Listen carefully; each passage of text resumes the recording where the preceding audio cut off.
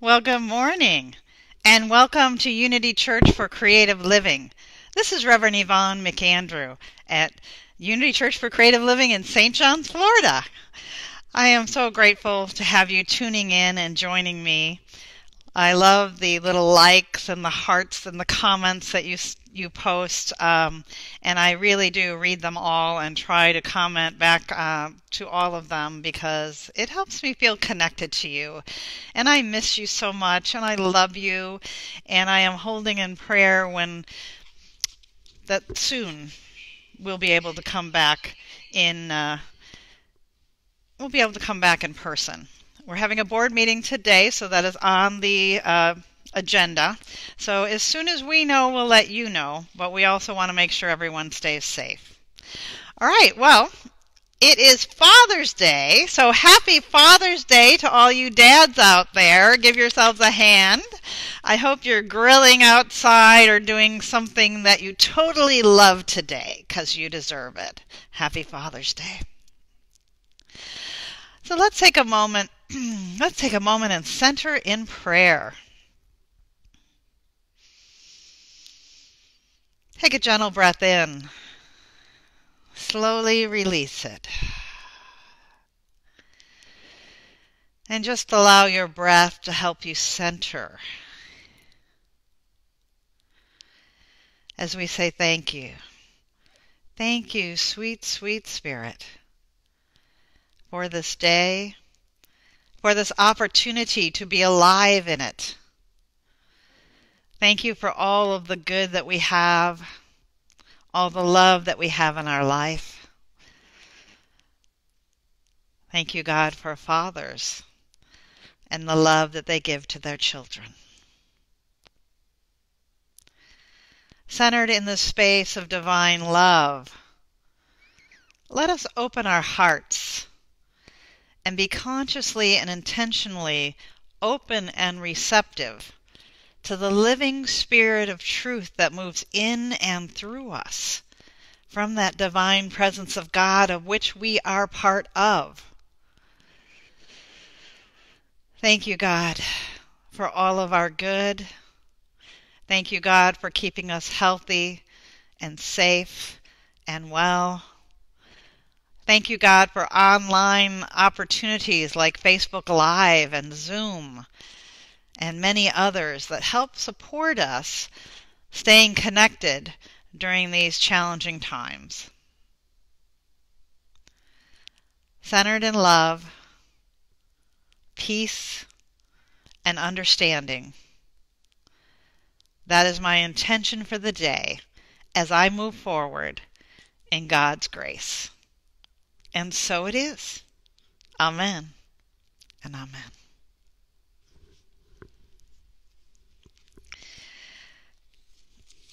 Today's daily word for Sunday, June 21st, 2020. Father's Blessing. I give thanks for all expressions of fatherly love. My relationship with my father may have been positive and nurturing, or difficult and challenging. He may have been a strong presence during my childhood, or he may have been absent. We may be part of each other's lives today we may be estranged, or he may have passed from earthly life. Whatever our circumstances, I bless my Father, and I see him enfolded in divine love.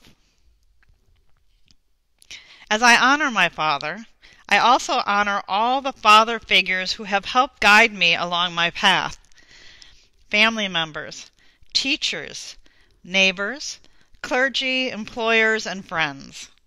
I bless them as I recall all the ways each one, in a unique way, has modeled strength, guidance, wisdom, and patience. Their presence remains with me thanks to the gifts of fatherly love. And from Proverbs 4:11, I have taught you the way of wisdom. I have led you in the paths of uprightness. I like that. Uprightness. Instead of righteousness, uprightness. Very nice. Father's blessings. I give thanks for all expressions of fatherly love. Thank you, God. So I want to tell you about, um, in honor of Father's Day, there there were four fathers to be sitting in a maternity ward waiting room as their wives were giving birth. And a nurse walks up to the first guy and says, Congratulations, you're the father of twins. And he says, Twins? Well, that's odd.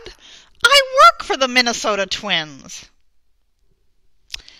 A nurse comes in a few minutes later and says to the second guy, Congratulations! You are the father of triplets. Triplets? Well, that's really strange because I work for the 3M company.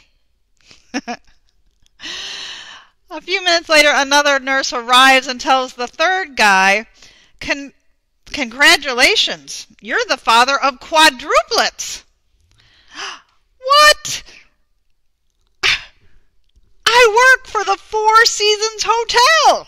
That's interesting. The last guy sitting there starts shaking his head and he's like, no, no, no, no, no, no, no, no, no, no. And the other guy's like, what's wrong? And he's like, I work for 7 Up. I love that little story. I love pulling it out on Father's Day because it's just kind of cute. God is good all the time. Uh, if you're just visiting with us today, welcome. I like to say God is good, and I like to hear you say all the time. Thank you. God is good all the time. you got it. You know, I've heard it said that if you only have four hours to chop down a tree, spend three hours sharpening your axe. In other words, with a dull axe, you'll spend a lot of time and energy trying to chop down the tree. But with a very pre- precision sharp tool, you can complete the task at hand with less time and less effort. And I agree with that concept. I liken it to our own spiritual growth. Have we sharpened our spiritual tools so that when we use them, they are the utmost effective? In other words, have we sharpened our axe, our spiritual tools of prayer and meditation, denials and affirmations, breath work, ho'oponopono, forgiveness, spiritual learning, etc., etc.? It's our job to keep our spiritual tools sharp and use them regularly. Unity is founded on prayer. Prayer is a profound spiritual tooth that tooth truth. A profound spiritual truth and tool that when we use it often and sharpen it to its maximum effectiveness can bring about the most rewarding results. If you read the stories about Jesus in the gospel, you see that Jesus regularly sharpened his tool of prayer. Prayer kept Jesus aligned with the divine presence of God within him. Jesus said, It's not I, but the Father within that does the work. Jesus kept his axe sharpened, his spiritual tools. in the wise words of Mother Teresa. The fruit of silence is prayer. The fruit of prayer is faith. The fruit of, fruit of faith is love. The fruit of love is service, and the fruit of service is peace. And I'm going to add one more. The fruit of peace is understanding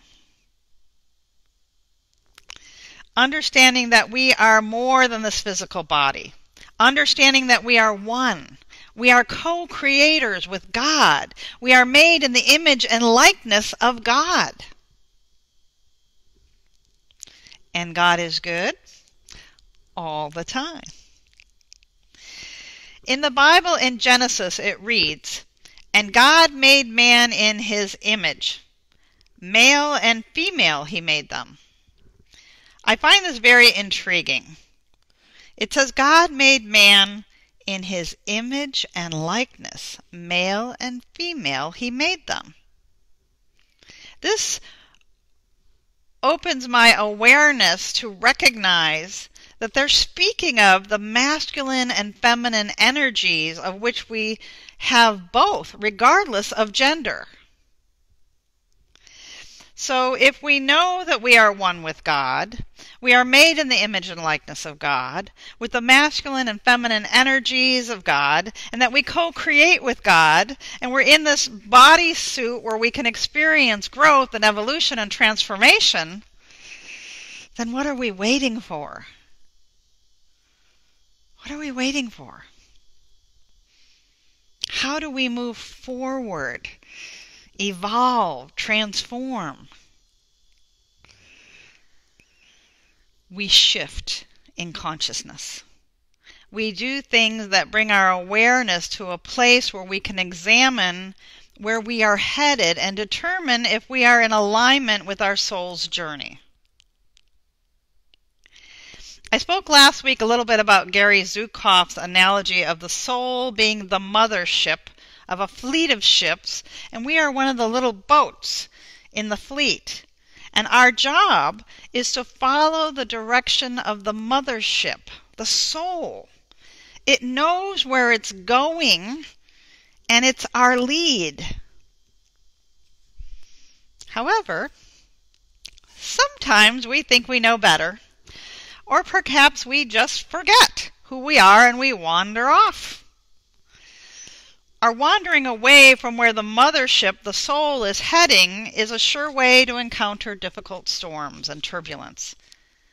And even if we wander off, the challenges we face have a gift embedded for our growth and remembrance of who we are. Take the prodigal son parable, for example. Most of you are familiar with it. It's in the Gospel of Luke, chapter 15. A father has two sons, and the younger son decides to one day ask his father for his share of the inheritance so that he can go off and explore the world. And the father obliges, and the young son leaves for a far off land.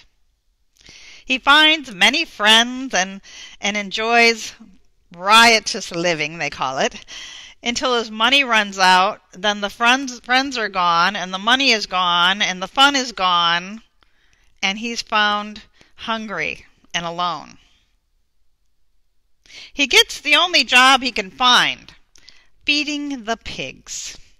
He is so hungry he wishes he could eat the slop that he's feeding the pigs. Now, for a Jewish man, this is a very low point very low. But know that low points in our life are fertile with lessons and growth, soul growth.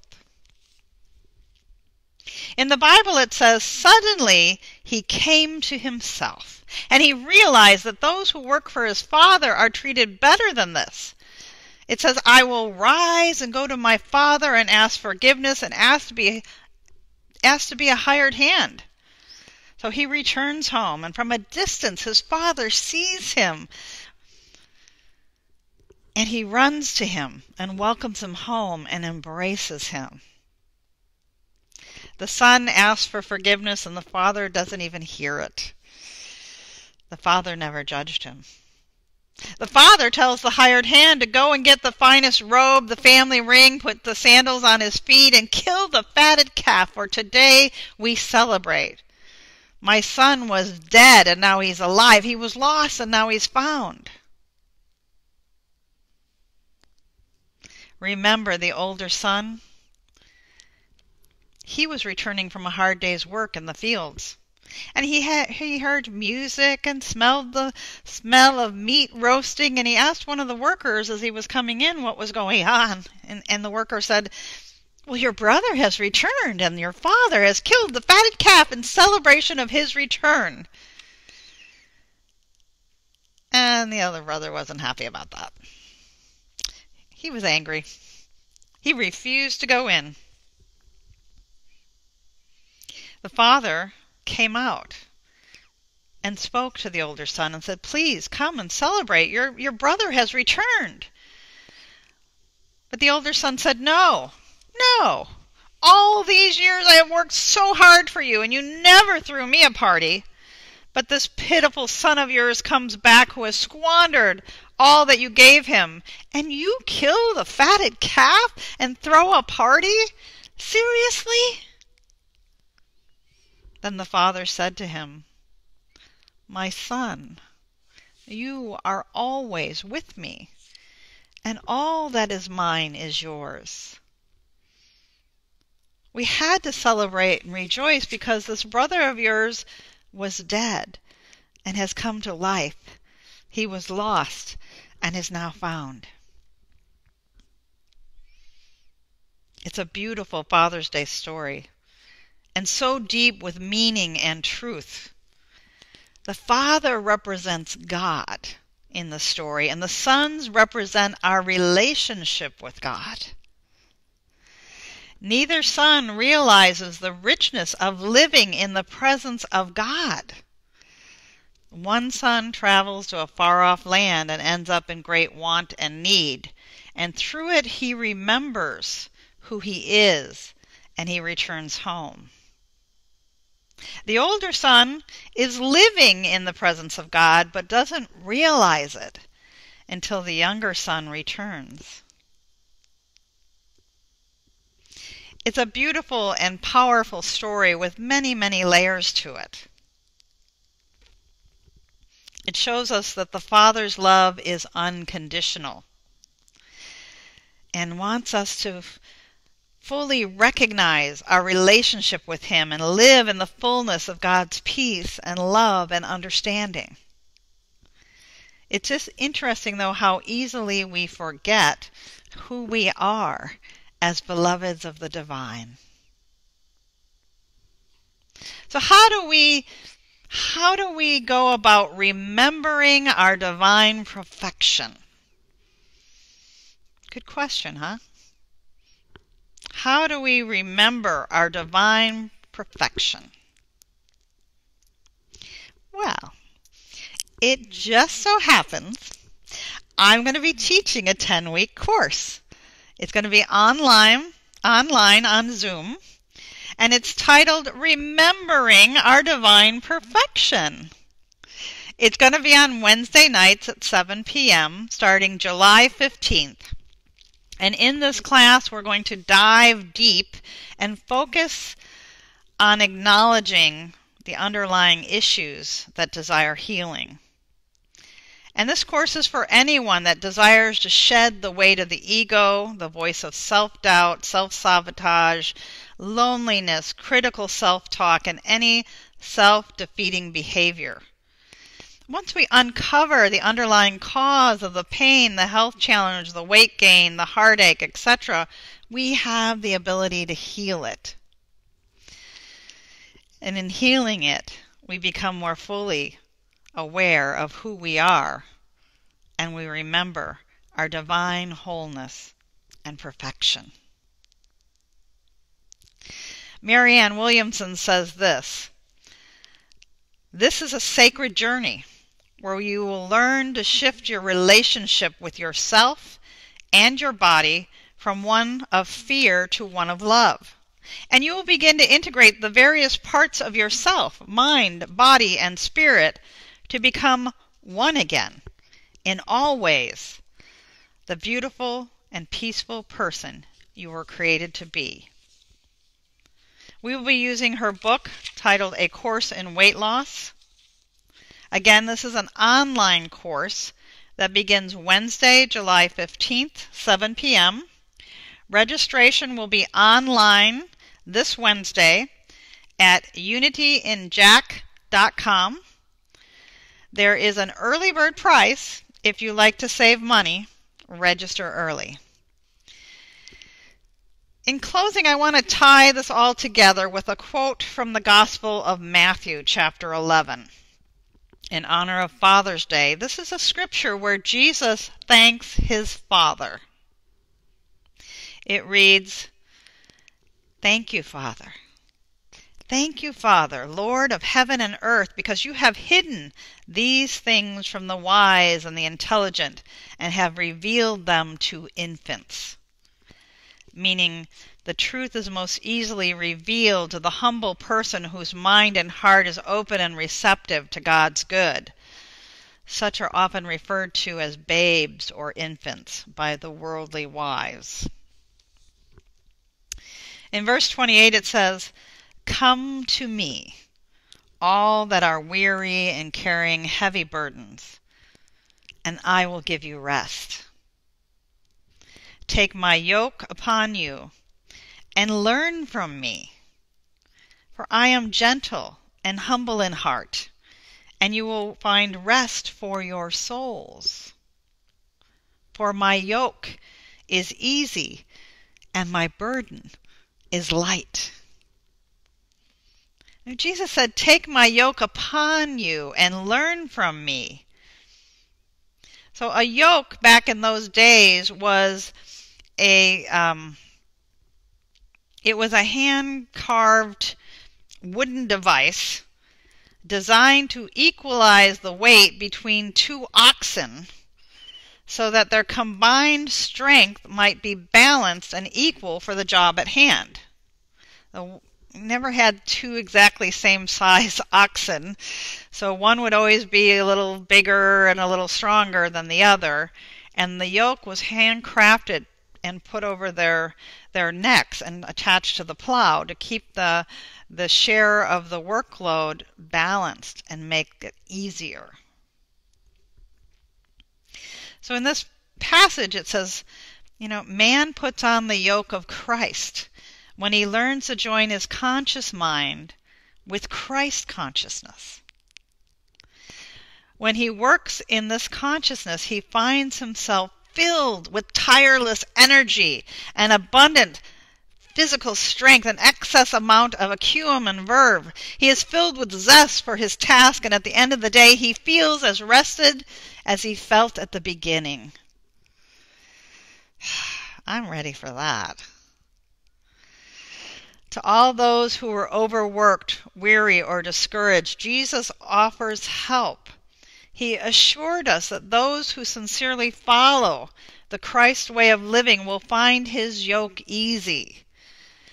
As we work in partnership with God, availing ourselves of the Christ love, wisdom, understanding, and power, our burdens will grow lighter, our work easier, our lives happier and peaceful. God is good all the time. Keep your axe sharp, your consciousness in Christ. Keep your heart and mind open to knowing that you already live in the presence of God and you are a beloved of the divine. And remember to join me on July 15th for the Zoom class, Remembering Our Divine Perfection. Namaste. I'm going to invite you to join me in a brief meditation.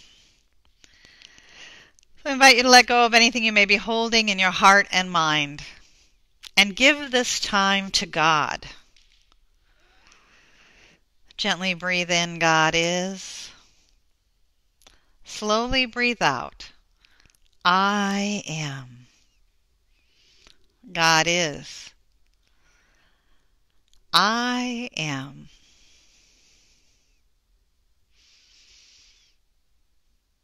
I invite you to allow my words to be the words of your own heart and mind as we share this brief time of prayer and meditation.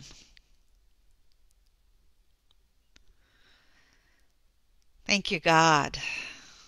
Thank you, sweet, sweet Spirit, for your living, loving presence that is always present.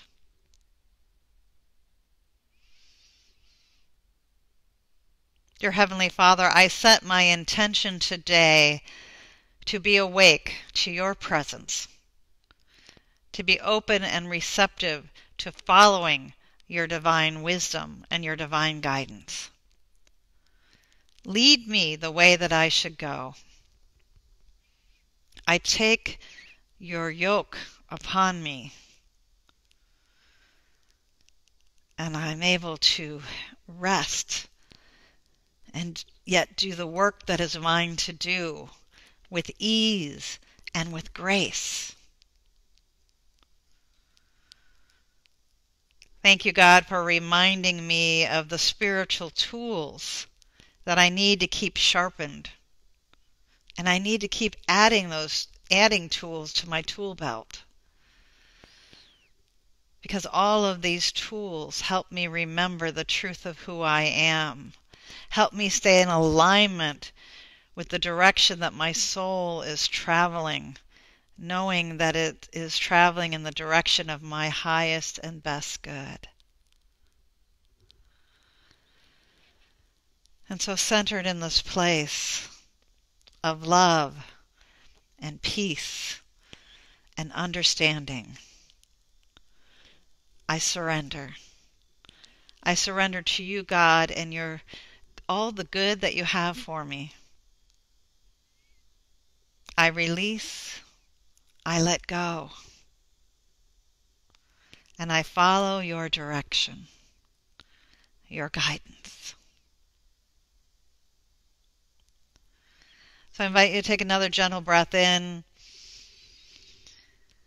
Slowly release it as we breathe deeper within and connect in that sacred place within us where we connect with the divine presence of God.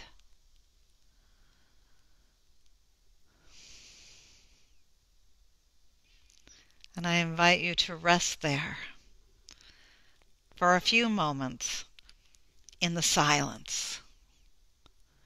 In the silence.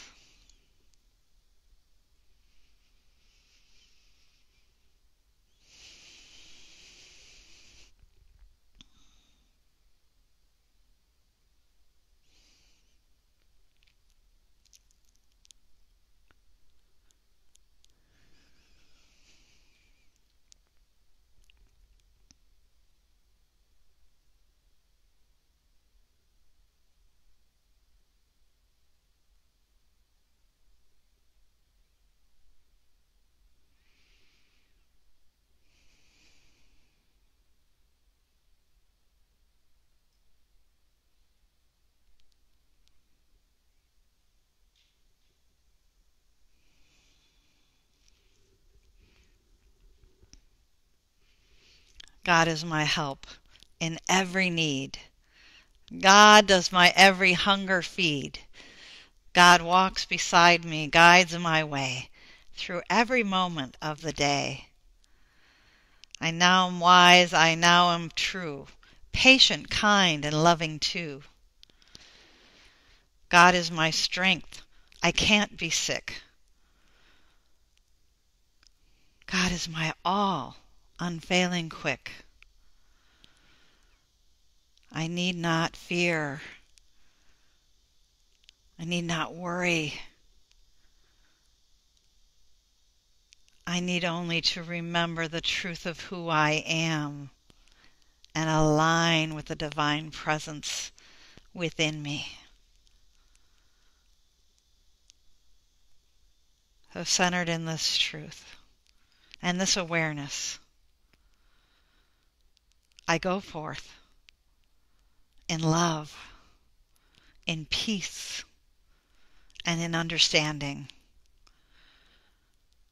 that God is guiding my way. And as I stay in alignment with that truth, in alignment with the direction my soul is traveling, my yoke and burden is easy and light.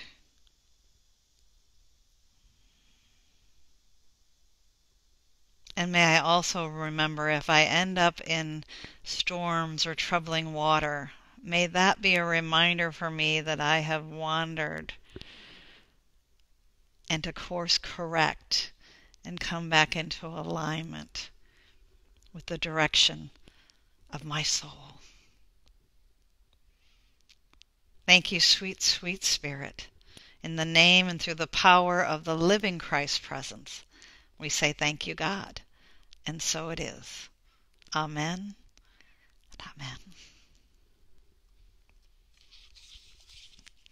So we're going to receive our love offering, and I am so, so grateful to all of you that have been so generous to be able to give whatever you can give to help support this ministry as we still, as we move forward doing the highest and best for all.